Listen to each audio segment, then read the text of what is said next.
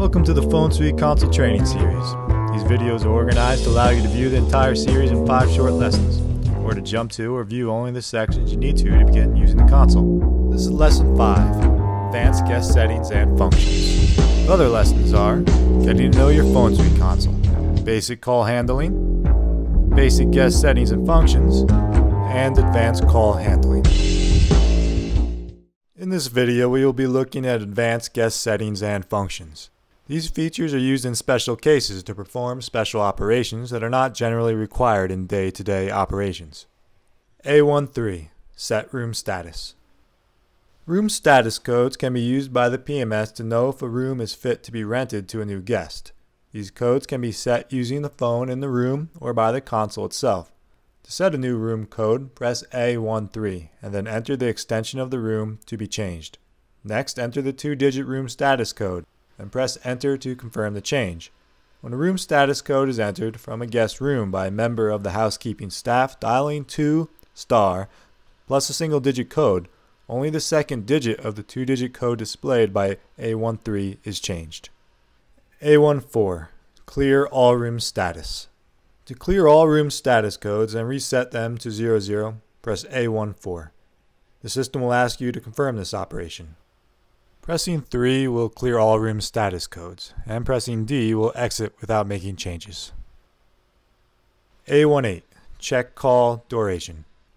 To view the duration of the current call made or received by a guest, press A18 and enter the guest extension.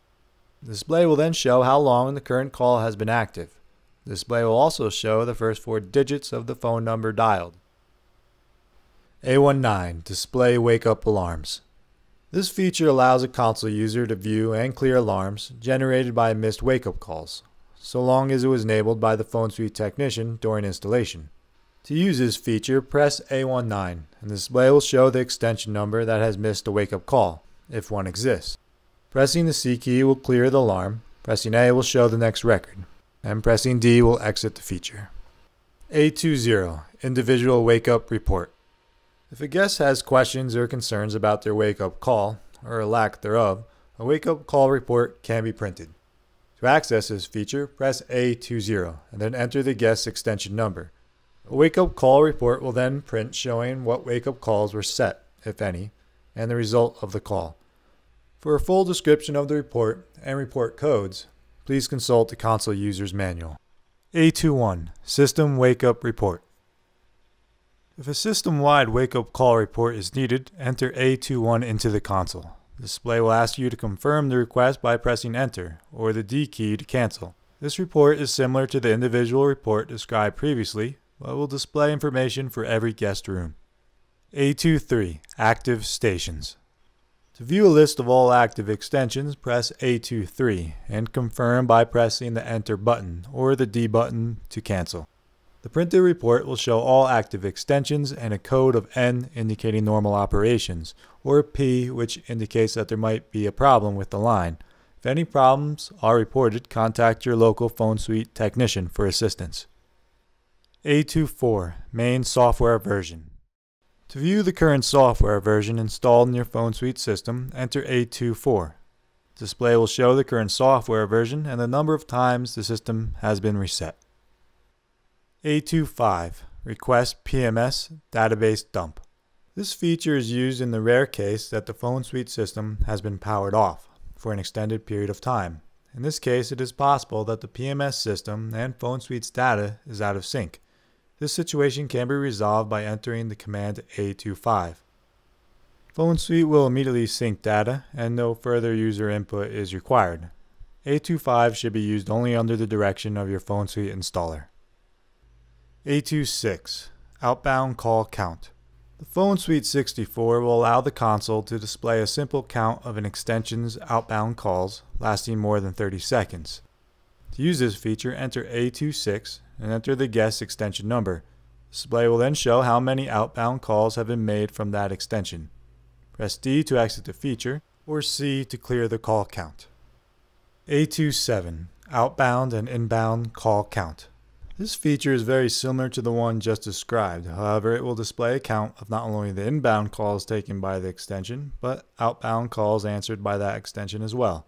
Simply press A27 from the console and enter the guest extension. What will then display is a total of the guest's inbound and outbound calls lasting more than 30 seconds. Again, this feature is only available in the Phonesuite 64.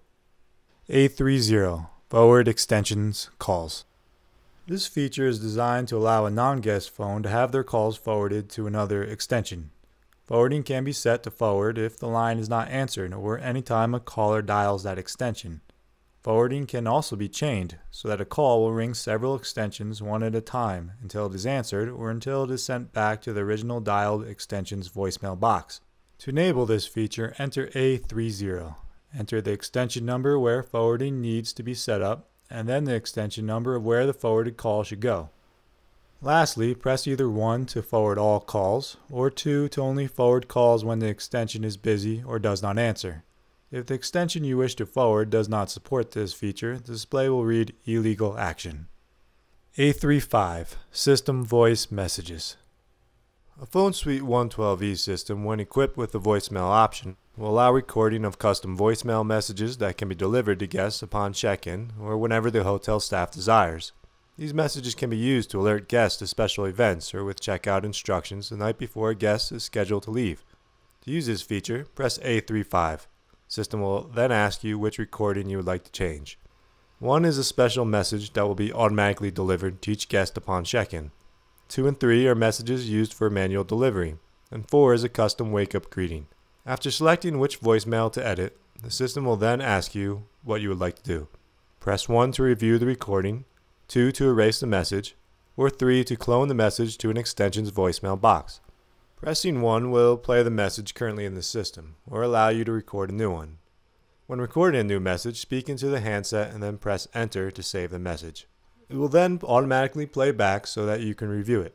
If you're satisfied with the recording, press 1 to save, or press 2 to re-record the message.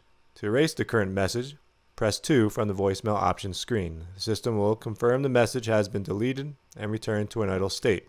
To clone a message, press 3 from the voicemail options screen, and the system will ask you for the extension number to clone the voicemail to. Enter the extension number and press enter. The message will immediately be sent to the extension will cause the voicemail waiting light on the phone to light. When recording a customer wake up message, the system will prompt you for an extension to clone the message to, but this step is not necessary and the feature can be exited after the custom wake up call has been recorded. A39 License days remaining. If you'd like to see the days remaining on your current Phonesuite license, enter the command A39. The screen will then display either PBX currently fully licensed, meaning that no license renewal is required, or the display will show the days remaining in the current Phonesuite license. If 000 is displayed, then the current license is expired.